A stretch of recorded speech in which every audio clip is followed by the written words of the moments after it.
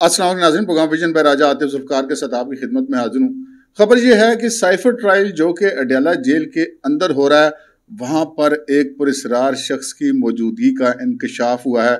वो पुरस्ार शख्स इतना पुरस्ार है कि वो जेल में आता है, इंटर हो जाता है, वापस चला जाता है, मुशावरत करता है लेकिन उसका कोई इंदराज कहीं पर भी नहीं है।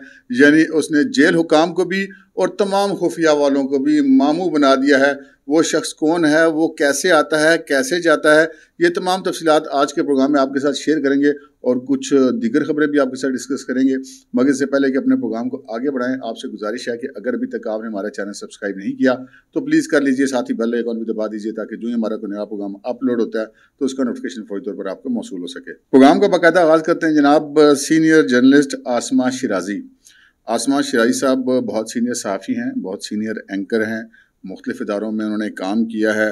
और उनके ख़िलाफ़ एक मुबैना तौर पर ARY news TV ने दो दिन तक कोई ख़बर चलाई थी जो कि मुबैना तौर पर गलत ख़बर थी और उनकी तस्वीर भी बार बार चलाई गई और फिर उन्होंने पैमरा में उसके ख़िलाफ़ जाके शिकायत की लेकिन पैमरा ने जो है वो उनकी शिकायत पर तो जो नहीं दी। आसमा शराजी की और आसमा शराजी ने पैमरा के उस पर जो उन्होंने डिसीज़न दिया था, उसको चैलेंज कर दिया था इस्लामाबाद हाई कोर्ट के अंदर।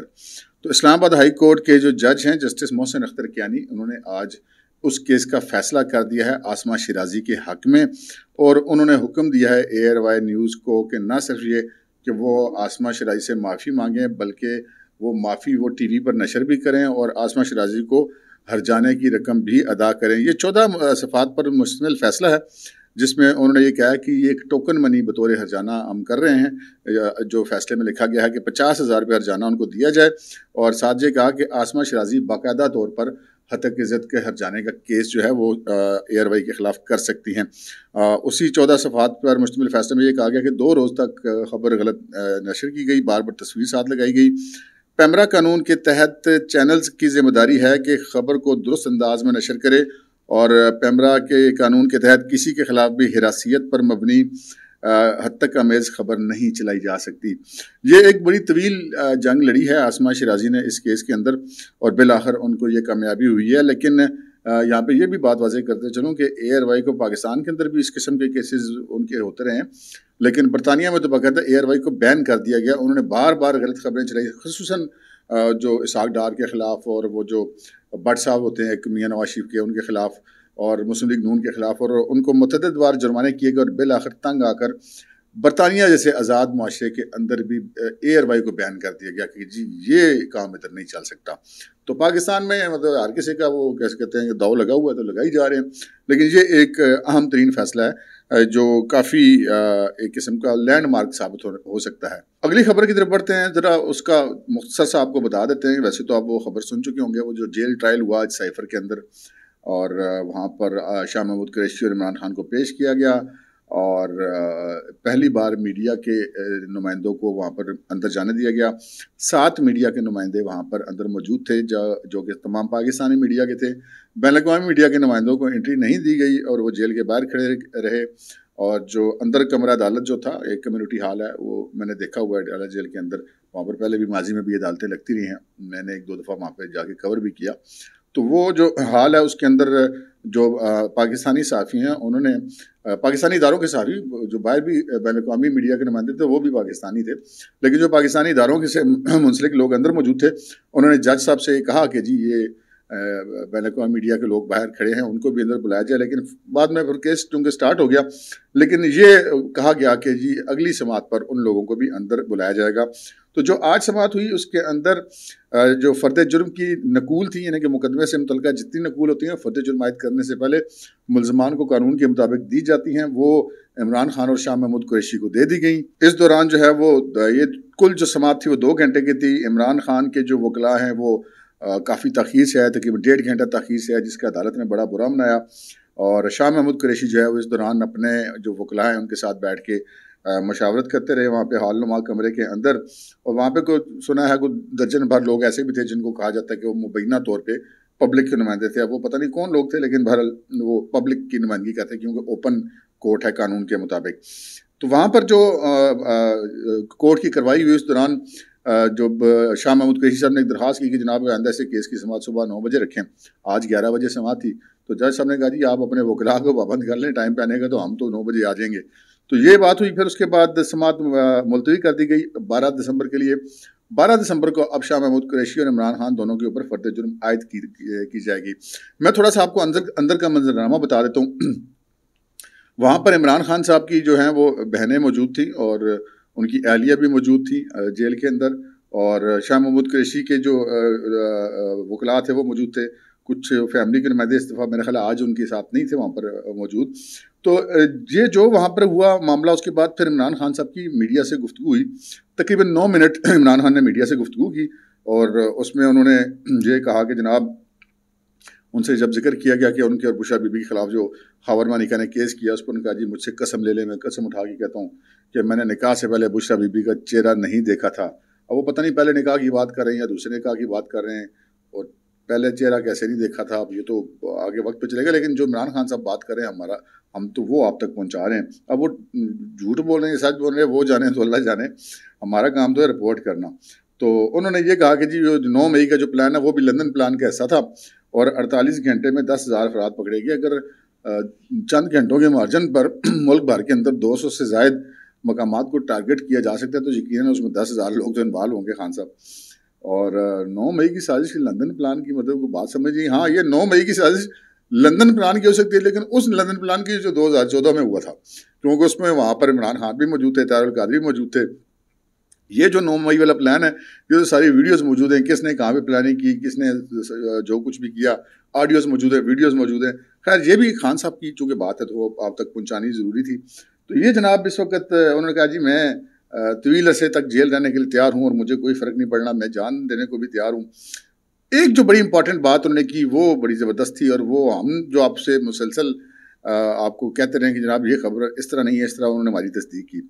आपको याद होगा कि हम बार बार आपसे ये कहते हैं, हर दूसरे तीसरे दिन एक नई शुरली छोड़ी जाती है।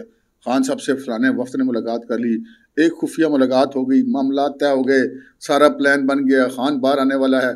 और ये तमाम की तमाम जो खबरें हैं, वो पीटीआई के सोशल मीडिया फैलाता है। और मैं आपसे बार बार करता रहूँ कि ये सिर्फ़ और सिर्फ़ अपने जो फॉलोअर्स हैं, उनको एंगेज रखने की एक बहाना के नहीं, फ़िक्र ना करो इमरान खान के बड़े रबते हैं और लोग उससे मिल रहे हैं और उसकी मिनतें कर रहे हैं और उसके तरले कर रहे हैं। खान जो है वो बस मान नहीं रहा। ये सारी बातें सिर्फ़ ड्रामेबाजी थी। आज इमरान खान साहब से पूछा गया कि जना आपसे लोगों से मुलाकातें हुई और क्या कोई आपका जो है वो कोई, जिसे कहते हैं माहा वगैरह हो रहा है, कोई, जिसे कहते हैं कि कोई मामला तय पा गए तो उन्होंने कहा, जी, मुझसे आज तक मिले ही कोई नहीं इधर आ गए तो मामला मैंने किसके साथ तय करने कौन से मुजाकर मुझे तो मिलने ही कोई नहीं आता। ये अब इमरान खान साहब कह रहे हैं। तो ये हमारी उस, उन खबरों की तस्दीक करेंगे पहले जितनी अफवाहें थी, वो सारी की सारी गलत थी, जो हम आपको बार बार कहते रहे अच्छा ये तो हो गया ना, इन वाला मामला। अब आते हैं हम अपनी उस असल खबर की तरफ़ जो आपने थंबनेल पर देखी। खबर यह है कि जी, जेल ट्रायल होता है। हर समात के ऊपर इमरान खान साहब और शाह महमूद कुरेशी को अंदर पेश किया जाता है। बाहर से इमरान खान के वकला जाते हैं, शाह महमूद कुरेशी के वकला जाते हैं और इन दोनों की फैमिली के लोग जाते हैं। और एक शख्स और भी जाता है जिसका वहाँ पर कोई इंदराज नहीं। ये तमाम लोग जो जाते हैं, इनका जेल के गेट पर इंदराज होता है जी। ये जनाब बलीमा खान जा रही हैं, ये इमरान खान की दूसरी बहनें जा रही हैं, ये बुश अभी भी जा रही हैं। ये फलां वकील जा रहा है, फ़लाँ वकील जा रहा है, हर बंदे का इंदराज होता है उसके ऊपर। लेकिन एक शख्स ऐसा है जिसका आज तक इंदराज नहीं है और जाता वो हर बार है। कैसी दिलचस्प बात है। और अगर तो होता ना किसी एजेंसी का बंदा गवर्नमेंट का बंदा तो फिर तो ये तो परेशानी की बात ही नहीं थी। फिर तो हम कहते हैं ठीक है इंदराज नहीं भी है तो कौन सा फ़र्क पड़ता है? लेकिन फ़र्क इसलिए पड़ा है कि खुफिया वाले परेशान फिर रहे हैं। और कौन है भाई? और वैसे उन्होंने भाई का सुराग लगा लिया कि कौन है, लेकिन वो उसका मैं आपको बताता हूँ, तरीकाकार क्या, तरीकाकार उस बंदे का ये है जी। कि वो वकील है। ये पता चला कि वो बंदा वकील है। लेकिन वो अदालत में अंदर जाके पेश नहीं होता। आता है वो इस्लामाबाद से, अडियाला, रावलपिंडी। और आता है एक टोयोटा फार्चूनर गाड़ी है उसके अंदर। अच्छा फिर दूसरी तरफ़ से अलीमा खान आती हैं। ज़्यादातर वो लाहौर से आती हैं। लाहौर से वो आती हैं हुंडाई गाड़ी पर। जेल के करीब गाड़ियाँ रुकती हैं। वहाँ पे अलीमा खान का ड्राइवर उतर जाता है। ये जो वकील साहब हैं, ये अलीमा खान के ड्राइवर के तौर पे साथ बैठ जाते हैं और अंदर चले जाते हैं। अंदर जाके ये वकील साहब अदालत में पेश नहीं होते, ना ये इनका कोई वकालतनामा किसी पेशी के अंदर है। अच्छा अब बंदा के जी इसमें क्या फ़र्क पड़ता है? वाकई कोई फ़र्क नहीं पड़ता। अब अगर कोई एक बंदे ने अदालत में पेश नहीं होना, उसने जाके अंदर किसी से मिलना ही नहीं है तो वो अंदर जा क्यों रहा है और वो ड्राइवर बन के क्यों जा रहा है? वो दीगर मुलाकातियों के या वकला के तौर पर अपनी एंट्री करा के क्यों नहीं जा रहा हूँ? सवाल तो ये पैदा होता है। ऐसी कौन सी मजबूरी है कि अलीमा खान अपने ड्राइवर को उतारती है, उस बंदे को बतौर ड्राइवर साथ रखती हैं और फिर अडेला जेल के अंदर उसको ले जाती हैं? अच्छा ये कहानी अभी इधर ख़त्म नहीं हुई। खबर इससे आगे भी है। खबर इससे आगे ये है कि वो बंदा जब ये अलीमा खान बाहर निकलती हैं, वही बंदा गाड़ी चला के अलीमा खान को बाहर लेकर आता है। और उसके बाद वो गाड़ी जेल के बाहर रोक दी जाती है, थोड़ा सा आगे जाके, जहाँ पे उस बंदे की अपनी गाड़ी खड़ी होती है उसके आसपास। वहाँ पर वो कभी आधा घंटा, कभी पौना घंटा, कभी घंटा दोनों मुशावरत करते हैं, अलीमा खान और वो शख्स जो वकील साहब हैं। अब उसके बाद वो उतरते हैं, अपनी गाड़ी में जाते हैं और वहाँ से अलीमा खान का ड्राइवर, उनकी गाड़ी को बतौर ड्राइवर सीट संभाले तो चला जाता है। अगर अलीमा खान ने जेल के अंदर ही जाना है तो अपने ड्राइवर के, उनका अपना ड्राइवर भी गाड़ी चला के जा सकता है। आमतौर पर होता ही है कि जो मुलाकाती होता है ना, उसका नाम होता है, या जिसने जेल के अंदर जाना होता है। ड्राइवर का नाम इंदराज नहीं होता। इस चीज़ का फ़ायदा उठाए अलीमा खान ने भी और वो जो मौसूफ वकील साहब हैं, उन्होंने भी। बिल्कुल मेरी, मैं ये नहीं कह रहा कि जी वो को बंदा ठीक आदमी है गलत आदमी है, लेकिन जो तरीकाकार है, वो बड़ा पुरस्कार है। इंट्री से बचना है। कमरा अदालत में नहीं जाना, लेकिन जेल के अंदर ज़रूर जाना है। और उसके बाद फिर जेल से बाहर निकल के मुशावरत भी ज़रूर होनी है अलग गाड़ी में। बंदा कौन है? अब रोला पड़ गया। दौड़ें लग गई। जिसे कहते हैं, एक हड़बड़ाहट मच गई कि जनाब, ये एक बंदा कौन है? अच्छा इतने दफ़ा वो आज आ चुका है, किसी ने उसको नोटिस ही नहीं किया। अब जब एजेंसियों ने नोटिस किया कि यार, ये बंदा वकील के कपड़ों में होता है, लेकिन इस इस बंदे का नाम नहीं है अंदर, अदालत में ये बंदा पेश नहीं होता। तो फिर अब दौड़े लगी तो पता चलाया गया कि ये कौन से वकील साहब हैं। वकील साहब का नाम मुझे पता, लेकिन चूँकि ये खबर ऐसी है कि मैं उनका नाम नहीं दे रहा, आगे चल के इनशाला आपको ज़रूर बताएँगे नाम, ज़रा थोड़ी सी मजीद तफसीत हो जाएँ। ज़्यादा बेहतर होगा कि उन वकील साहब से बात हो जाए या उनका मौक़ सामने आ जाए कि वो क्यों जाते हैं। तो फिर हम उनका नाम यकीन देंगे। लेकिन ये जो आने जाने का तरीका कार है कि इतनी तारीखें हो चुकी हैं, यानी कि पहले भी वो जेल ट्रायल हुआ ना जी, जो इस्लामाबाद हाईकोर्ट ने कालदम करार दे दिया, उसके बाद फिर दोबारा हुआ। हर पेशी में यह बंदा अंदर मौजूद होता है। इसी तरह गाड़ी आती है अलीमा खान लाहौर से आती हैं, ये इस्लामाबाद से जाते हैं टोटा फार्चूनर गाड़ी में वहाँ से वो अपनी गाड़ी से उतरते हैं। अलीमा खान की होंडाई में बतौर ड्राइवर बैठते हैं और जेल के अंदर चले जाते हैं। अदालत में जाकर पेश नहीं होते। वापस अलीमा खान के साथ ही वो बतौर ड्राइवर निकलते हैं और बाहर पर गाड़ी में आधा घंटा घंटा जो भी उन्हें बात करनी है गुफ्तु करते हैं, मुशावरत करते हैं। उसके बाद वो अपनी अपनी गाड़ियों पर रवाना हो जाते हैं। अब वो जो भी वकील साहब हैं अलीमा खान उनसे कहीं और भी मुशावरत कर सकती है। ये उनको क्या उनके ऊपर कोई पाबंदी है कि वो किसी से मिल नहीं सकती या मुशावरत नहीं कर सकती? बाकी वो क्लास से भी तो वो करती ही होंगी। तो इनसे भी तो कहीं और भी हो सकती है।